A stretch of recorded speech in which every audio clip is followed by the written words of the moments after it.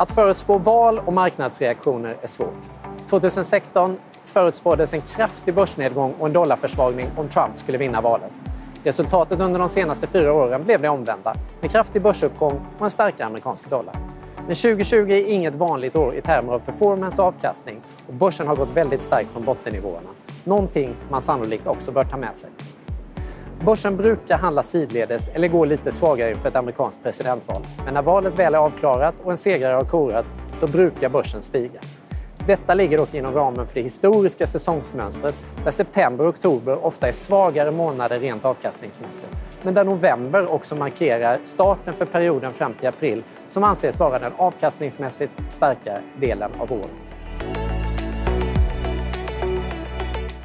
Även om det ekonomisk-politiska innehållet ser olika ut mellan de båda kandidaterna vill de båda i alla fall rädda den amerikanska ekonomin och är beredda på att sätta in omfattande stimulanser. Trump gillar skattesänkningar och har hittills varit mer fokuserad på att gynna inhemska amerikanska bolag. En vinst för Trump anses därmed vara bra för amerikanska bolag och amerikanska bolagsvinster och lite sämre för resten av världen. Trump har fokuserat mycket på den amerikanska energisektorn och utvinningen av kol, olja och gas. Biden har sin sida ett större hållbarhetsfokus med satsningar på förnybar energi och överlag gröna alternativ.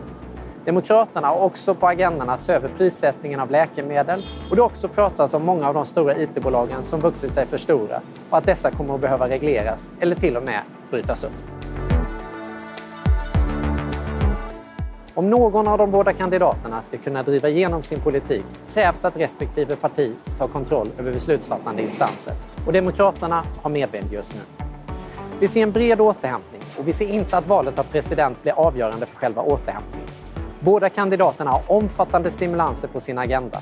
Det som är avgörande för marknaden är att centralbankerna fortsätter att stötta och att det kommer ytterligare stimulanspaket.